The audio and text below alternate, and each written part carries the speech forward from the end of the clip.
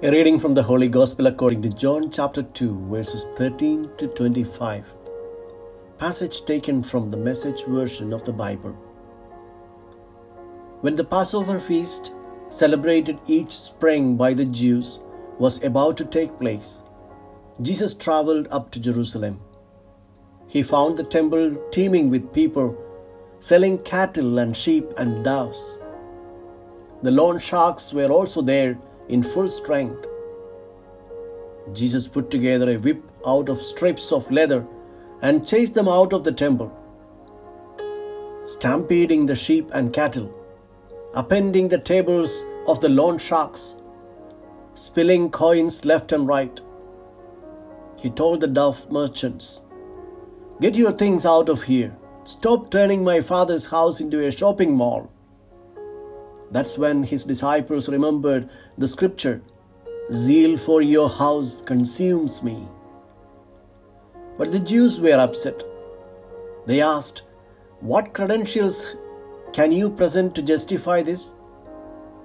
Jesus answered, Tear down this temple, and in three days I will put it back together. They were indignant. It took 46 years to build this temple and you are going to rebuild it in three days? But Jesus was talking about his body as the temple. Later, after he was raised from the dead, his disciples remembered he had said this. They then put two and two together and believed both what was written in Scripture and what Jesus had said. During the time he was in Jerusalem, those days of the Passover feast, Many people noticed the signs he was displaying, and seeing they pointed straight to God, entrusted their lives to him. But Jesus didn't entrust his life to them. He knew them inside and out, knew how untrustworthy they were. He didn't need any help in seeing right through them. The Gospel of the Lord.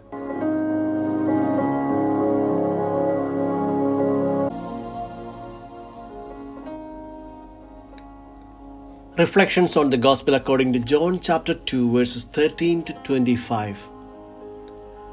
Jesus drove the sheep, the oxen, out of the temple, and then he overturned the tables of money changers. What did Jesus mean by this gesture? He simply said that God did not want animal sacrifices, nor any sacrifice, because God's favors cannot be bought. We cannot give anything to God because His gifts are completely free. To offer something to God to obtain His blessings is buying and selling or bribing God.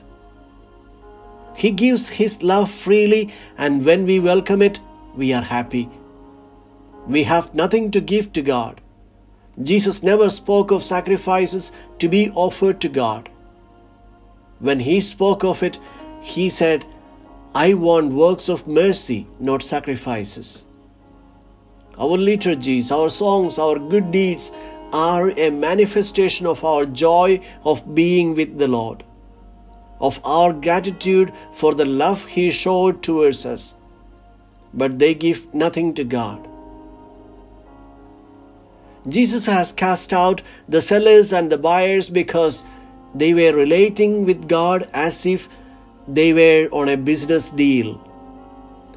At the eight gates of the temple esplanade, the Levites, the sacristans of those days, conducted a screening of the people to ensure that the blind, the lame, the deformed, the hunchbacked, the paralytics, the lepers, and the sinners were prevented from entering the temple because they had nothing to offer to God except their own misery, weaknesses, and their own frailty. Jesus challenged the priests and the religious authorities that the current sanctuary is obsolete, but Jesus would raise a new one in three days. The sanctuary was the central part of the building where the Israelites believed that the Lord was. Whoever wanted to meet God should go to his sanctuary. But today, the function of the ancient sanctuary is finished. dismantle this temple, do away with it. Why? Because Jesus is the new sanctuary where God manifests Himself. God shows His face is not in a material temple but in His person. It is in Jesus where we see the face of God. Paul tells us, remember, you forget that the Spirit of God dwells in you, that the same divine life circulates in you, that you are the sanctuary of God in the risen Christ. The Gospel of the Lord.